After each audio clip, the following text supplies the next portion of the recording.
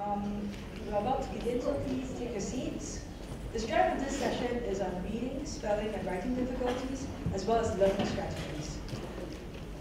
I hope you are as ready as I am to learn more from the line of speakers in this session today uh, on how we can better enable learners with dyslexia. We'll be covering a variety of learning strategies to help learners with dyslexia cope better with their difficulties. Like before, if you have questions for the speakers, uh, please write them down on your um, note paper or your post-it uh, and pass it to me at the end of the session, or you can drop it at the question box at the registration booth outside the exhibition hall. Uh, your questions may be addressed at the panel discussion at the end of the day. All right, so without further ado, we'd like to now invite Dr. Ong Puay Hoon to present her research on the use of ubiquitous bottle caps to enhance phonological processing among struggling and poor readers.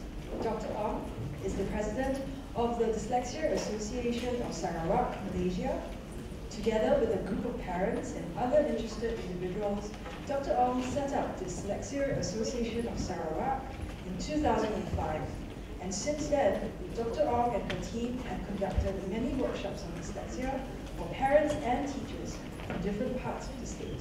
Let us now welcome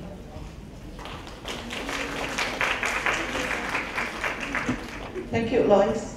Good afternoon. Now, it is indeed a great pleasure to be able to share uh, not research, but our practice uh, in intervention uh, with uh, all of you. So I'm really glad to be able to be here to represent my team, uh, to share uh, this strategy that we, we have tried, experimented, and we are very excited that it works with our uh, group of children. Right, so as, as was mentioned, um, the Dyslexia Association of Sarawak was uh, set up as a pro-tem in 2005, and uh, we took two years to garner our courage to have it, to have it registered in 2007. So within that two years, uh, we did a needs analysis and see whether Sarawak uh, do need, you know, does need a dyslexia association, and we found that indeed, you know, there was this uh, gap uh, in services, um, specialized services provided uh, for children with this uh, learning difference. So as many of the presenters here, many of you who are here interested in dyslexia is because maybe we have a sibling or we have a child or maybe we ourselves have dyslexia. So in my case, why 205? Because in 204, my daughter was diagnosed with dyslexia. Then she was already in primary four. One day she came back and cried and said, Mommy, I'm not going to school anymore. Then I said, why? I said, no, school, school is a torture chamber. I'm not going back. And uh, my, my teachers, you know, has been saying that uh, I'm not so clever, uh, has been punishing like in Chinese school, in, in my place, you know, they, they whack, using a ruler to whack her palms and she was showing me her, her palms, you know, it's like got bruises because she has been whacked for a long time before. So I was so shocked and um, later went to school to talk to the teachers, her class teacher, and found that she was really not doing so well. That my, my husband and I, we were stupefied. We said, why? You know, such a clever girl. She, in, in my family, my brothers and my sisters call her Loya Buro. So lawyer Buro is like a, if literal translation is, uh, um, is a, a lawyer, you know, who doesn't do well in the business, but talk a lot. Just talk, you know, empty air a lot. So she's like that. She talks so much uh, but she couldn't really read well and spell. And when I opened up her exercise books, her BM, you know, English exercise books, oh, you know, the teacher's red ink were more than her original pencil marks. So every line there were there were mistakes. So we took two years to get her uh, to diagnose by the uh, British uh, Dyslexia Association. And I said, hey, girl, I was like that when I was in primary school. And but at that time, you know, my primary school, we had dancing, we had art, we had singing. So it was not so difficult from primary one to primary four, uh, primary three. But when it came to primary four, it was a real struggle for me. When my reading and spelling scenes were small, the teacher said, stand, stand up. Uh, so simple word you cannot spell. So I just stood up. when my sin was greater, you know, a rather simple word was not able to be spelled correctly, the teacher said, stand on the table. So I to stand on my desk, my, I was tall, my head was almost uh, up to the ceiling fan. And, and if the C was even greater, my books were thrown out of the window, out the door, and I was made to stand outside the class. So, oh, then, you know, it began to trigger this, uh, this interest or maybe this desire to help my daughter and also help others who might be in the same predicament. Uh, that, uh, you know, a group of us just come together and say, why don't we do something? We advocate for our own children and for others. So that's where, you know, in, in 2005, the Dyslexia Association of Sarawak was born. So this will be briefly the structure, talking about multisensory, because bottle caps is more visual, is tactile, and a bit, little bit of kinesthetic, right? So uh, why, why you know, uh, we have been talking just now, we have been listening, you know, about multisensory uh, activities and phonological awareness. And introducing these letter caps, so you can see my ex-university, I just retired end of last year, so I was with the University of Malaysia Sarawak, so there's a small logo there because it's IP, IP with the university. And what are some of the activities that we can do with these letter caps? And outcomes of a literacy camp that we use letter caps as a simple manipulative aid to enhance uh, phonological awareness. So multisensory activities, we know we learn through these five senses, but you know, generally schools in Malaysia, I do not know about Singapore, in, you know, teachers tend to use a chalk and talk method. Uh, so maybe visual and auditory. Children see and see, you know, that the teacher will say, okay, C-A-T, cat. Everybody say cat, and there will be a picture of a cat. So they have to word, yeah, the word picture association or picture word association, or the whole word language, and they will learn other words that way. So it's more visual, you know, more auditory. Children really um, do not see how the CAT can become cat. So here, learning to read is actually a multisensorial uh, activity. We have to see the word. We have to hear, we have to say it. Say the word out so that we can hear it. Then we have to see how these words come together uh, to form the word that we in, intended. So it, it, this where resonates very well with the, look at it, look at the word, say it. So while you say, you hear it.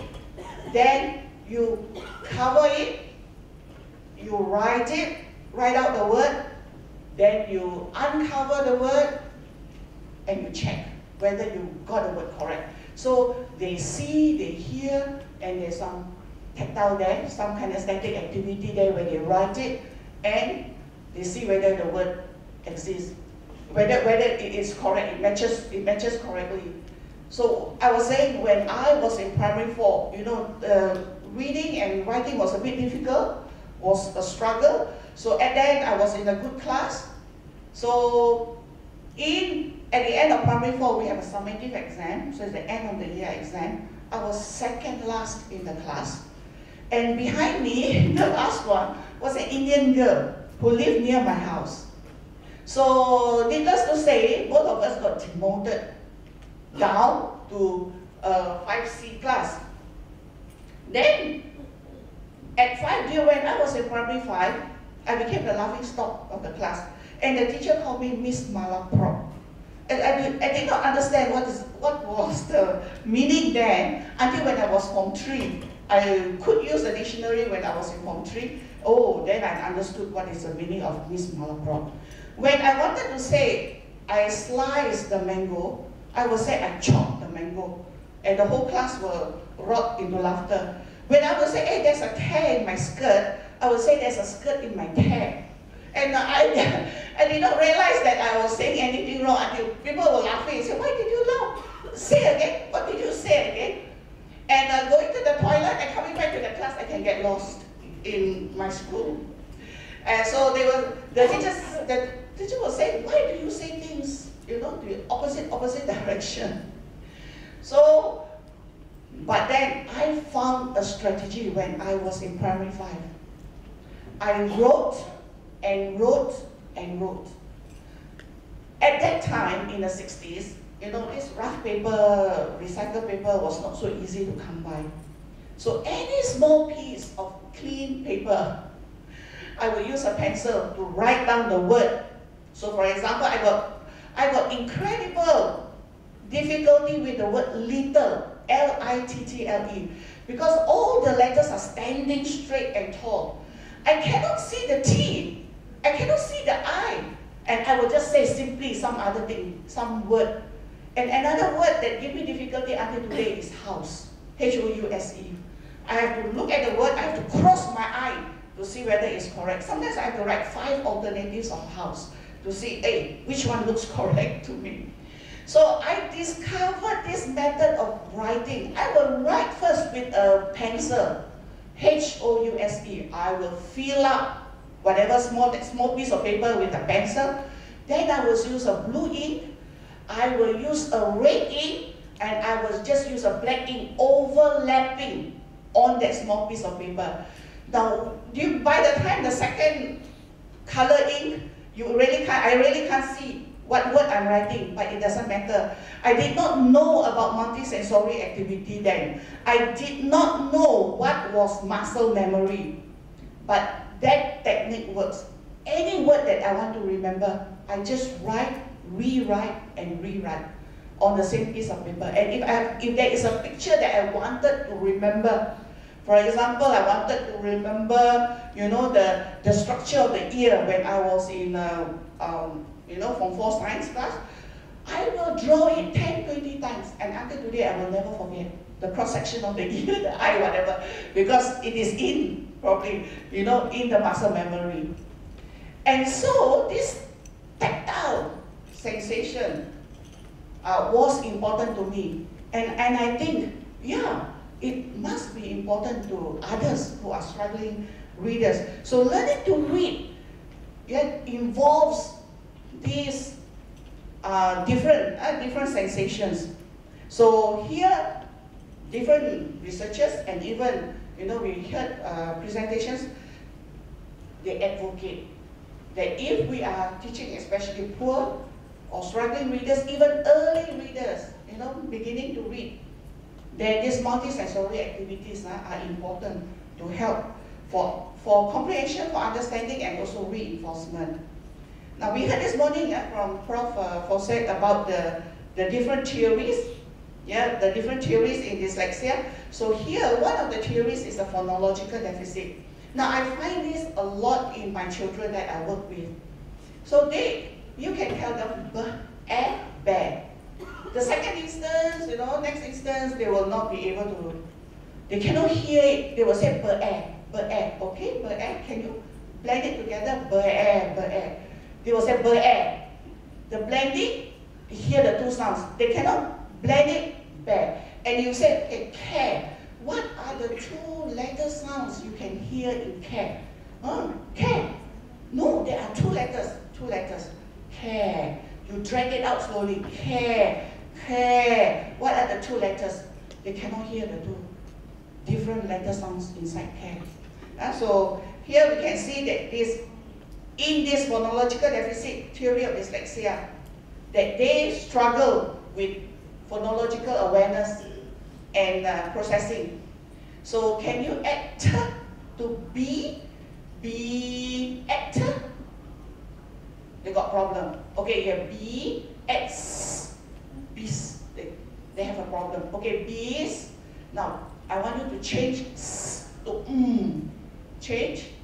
Uh, they, they have uh, uh, manipulation, phoneme manipulation is important. And it, it, it's difficult for them. And you can say that this is due to the different uh, anatomical structure and functions in, in the brain, as uh, we have seen this morning from uh, Prof. Fawcett's uh, presentation. So in Phonological awareness for, yeah, we, we had presentations in comprehension, which is really down the journey in our reading process. So at the beginning, the decoding and coding stage, I guess the, the phonological awareness has to be grounded. Uh, because, you see, research has shown that this various research has shown that children who are good readers, yeah, they are good, they are good readers, their phonological processing skills are intact.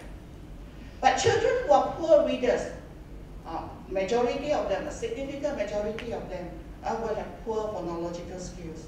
And so here, we really would like look so in my association my team and I you know we look for a simple method uh, to enhance this so here phonological awareness is really made up of these uh, six sub skills in um, in reading right so we take a minute to watch.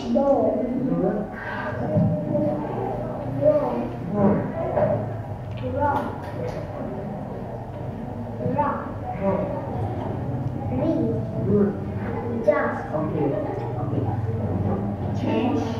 Change the. Change and dog. Change form.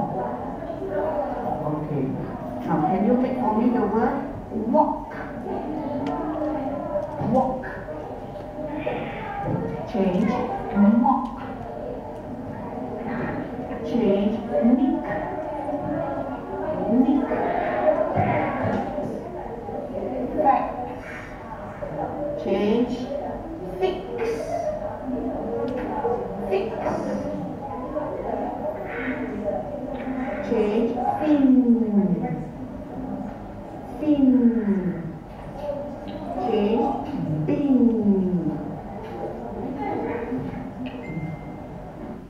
So you can see that this involves visual. They have to see, they have to select. So it's visual encoding that Dr. Lim just now was talking about. So if it's bin, they have to look where the B is. And uh, it involves uh, auditory, you got to listen. So now I want you to change the first letter or the second letter or the third letter in the this CVC word. So they got to really identify which uh, letter is supposed to be substituted. And it involves tactile. There is manipulation of the physical aid. And uh, you can see that the consonants are in white. So why is it white? Because it's more plentiful. Uh, many of the drinking water, they have this uh, white bottle cap, so it's more plentiful. And I separate the vowels with the colored, colored bottle cap. So in this case, I use a blue, a light uh, blue. So mineral water, we have colored uh, bottle caps. So we separate it. And if you notice, my vowels are on the right and the consonants are on the left so that the student can use both hands when they they manipulate the bottle caps. Now they have a tendency to just use their dominant hand. So if you put it all together, you know, they will just use one hand to do the substitution. So I do not know, maybe there is uh, uh, some bene bene benefits in, in using both hands, like in brain gym activity, cross-lateral activities that helps to, uh, to align, no, realign the brain neuro neurology. So we, we encourage them to use both hands. So there is no, uh, we do not have any data to support whether using both hands is better than using one hand. So, so we thought we just want to engage uh, both hands. Now this is like using a letter tile. So um, many schools, you know, they're using letter tiles. So it's the same thing. So when you don't have a letter tile, there's another simple uh, tool that you can use as a physical manipulative aid. This is scaffolding. So Patricia talked about scaffolding is scaffolding. So after some time, the children do not need the bottle caps anymore. And so you can keep it and use for the next student. So it, it is at the beginning when they are learning to grasp the concept of decoding or encoding. So I just like to show an example here. Then the M will be moved nearer, will be moved nearer to A. So, meh, meh, meh, and put them together, meh. So, one uh, child, about seven years old, when I teach her meh, they said, no, my teacher says M-A. MA man, but I do not understand why MA is man. Uh, so when I did this, man, man, man, No, I understand, teacher. Yes, MA is man. Look, when the school teacher says MA is man, he doesn't understand, but he just memorized as man. But you know, when we did this, oh, right, you begin to understand.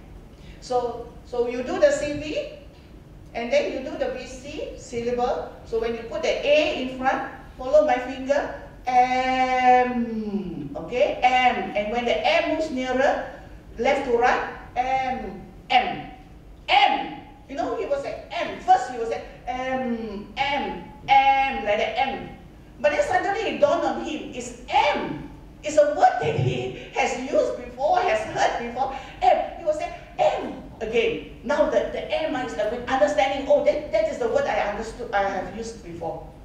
So here, using this physical manipulative aid, like you set the rules, you show them the rules, how these phonics work. And when it is CVC, so for example, MAC, right? Then you have a, so you have a T here. So with this, MAC. Now if the child has forgotten, I will take away and pull out my A again. Okay, follow my finger, say the letter sound. Mm, man, right? And he gets it, man. Repeat, man. So I will put them together and uh, sometimes I will use this. It's just a cardboard that I cut it out. So it's man, it's a syllable, and I will encase it on I will put it within the two, inside the two bottle caps. Say the sound of this syllable, man. Read this, read this, man. Okay, man. Then I will introduce my consonant. Okay, what does this syllable say? Man. Okay, follow my finger. Mat. Mat. Then you can move the man nearer when it is in contact met. So met, met, met, met, met. And sometimes the word suddenly dawned on him that, hey, it's a word I know, met. Then you show a picture, okay, this is a mat. Okay, do, does your house, how many mats uh, do you have in your house? Oh, mm, I have one at the front door. Oh, yeah, is it round or is it uh, square or rectangle? Well, any word written on it. So that's why you try to engage some um, conversation, you know, some comprehension in this word, math.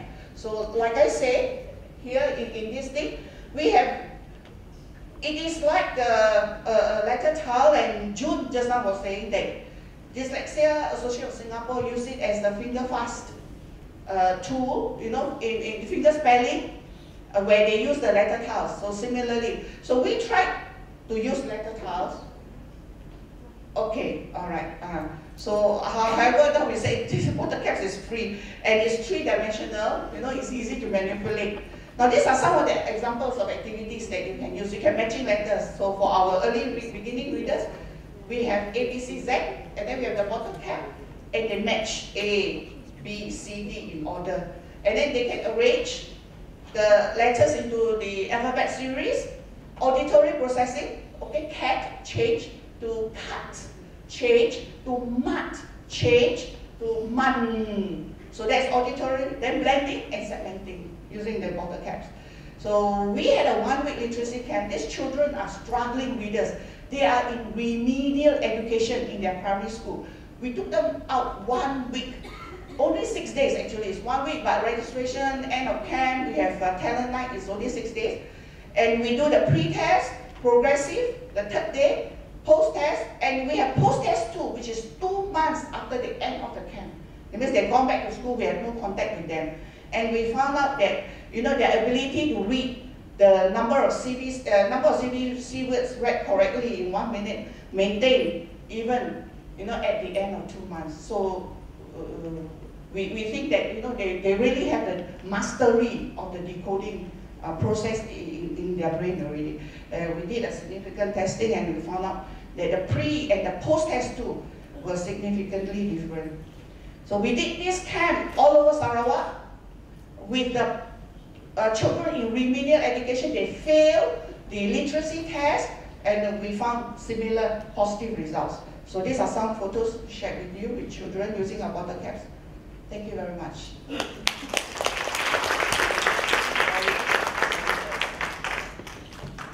Um, thank you. Um, it's, it's very clear that you're so passionate and you such rich information. Thank you for sharing.